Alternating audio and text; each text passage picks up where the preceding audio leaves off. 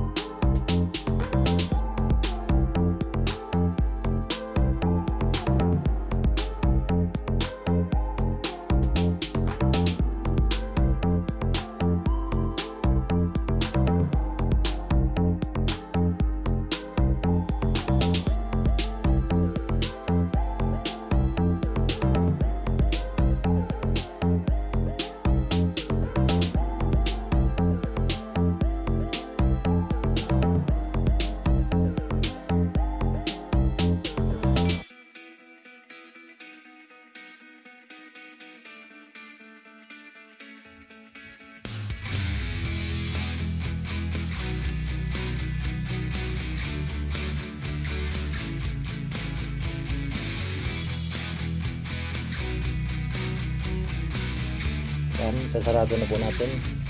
Para sa ganun, isasali na natin ang ating uh, motor oil na Pertua Power Tech. Yan mga lods. Share ko lang sa inyo lang yung Pertua na motor oil. Meron din tayong Pertua para sa sasakyang pang gasolina at pang diesel. Nabibili po yan sa mga sikat na tindahan sa mga mall. Pertua motor oil.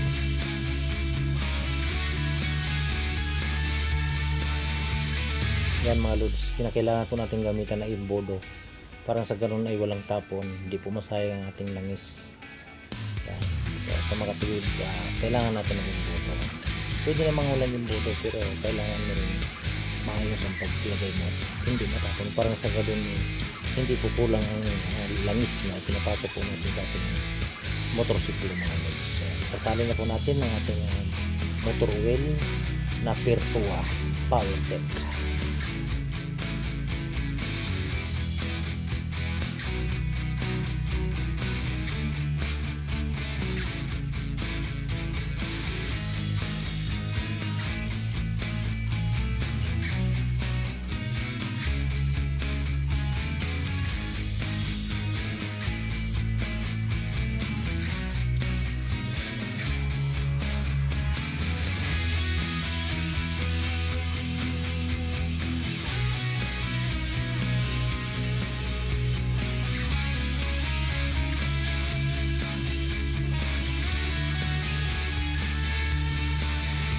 Kaya mga lods, sinasaid na lang po natin ang langis para sa ganun ay talagang uh, side na side at walang natitira.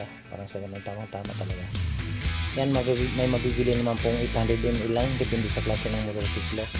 Ito kasi Wave 125 ay 800 ml lang ang langis niya. So mayroon na rin pong 800 ml langis niya. Parang sa ganun, itamang-tama lang po sa mga lods. Wala nang sukat-sukat pa.